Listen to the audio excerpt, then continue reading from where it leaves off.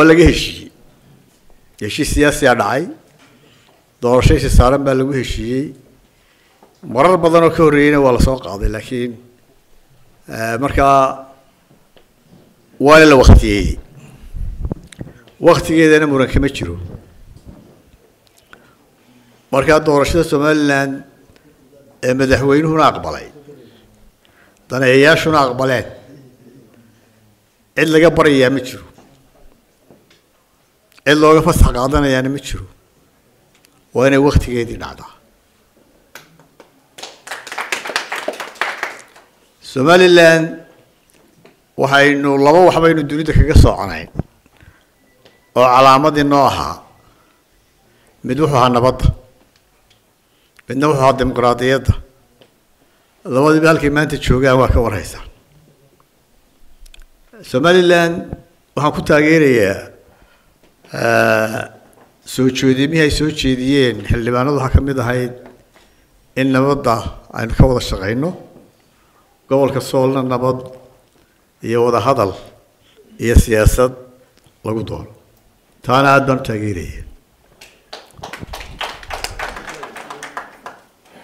Xukuumaduhu heshiis way geli karaan laakiin waxaa waajiba inay golayaasha keenaan gaar ahaan inta badan dastuurkaa tilmaamaya halka la keenayo. Waxaanay u badan yihiin golaha wakiilada. Marka taa maadaama ay qaateen goluhu goluhu iyagoo dadka ka wakiila oo annaga naga wakiila oo shacbiga ka wakiila taa iyagaa laga rabaa inay waajibkooda ka gutaan haddii la yidhaahdo. Waan soo dhaweyneynaa dalka somalilan wax kastoo dani ugu jirto.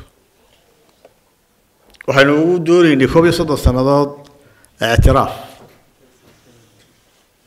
ictiraafkii aada baynu ugu farxanay markii la sheegay. Laakiin hadallo badan oo iskhilaafsan baa ka daba imanaya. Wixii medmadowey ku jira. Golahaynu u daynaynaa inay ka saaraan.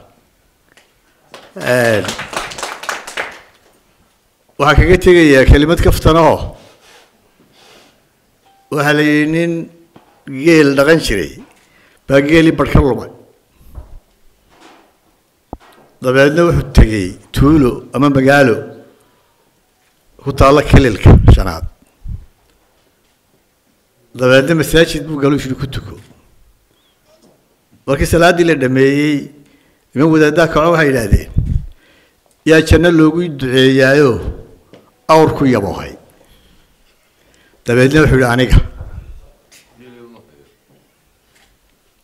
Haddana waxay yidhaahdeen markii loo duceeyey yaa sac ku yaboohay dabeedna wuxuu yidhi aniga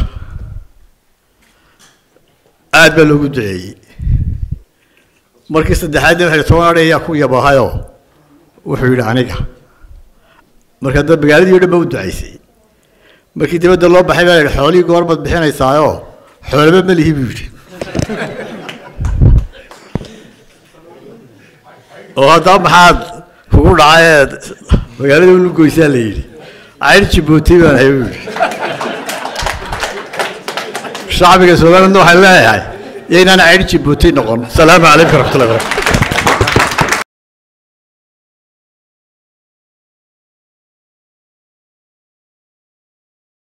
bangiga salaam somaali bank wuxuu adeegga mushaar bixinta ku soo kordhiyey hab cusub oo onlayn ah.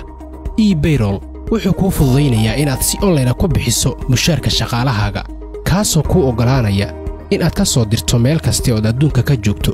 Salaam somaali bank waxaa ka go'an inuu kaa caawiyo weeragnimada ugu wanaagsan ee suurtagalka ah ee bangiyada caalamiga ah iyadoo adeegga e bayrol uu ka mid yahay kuwa ugu muhiimsan ee uu bangiga bixinayo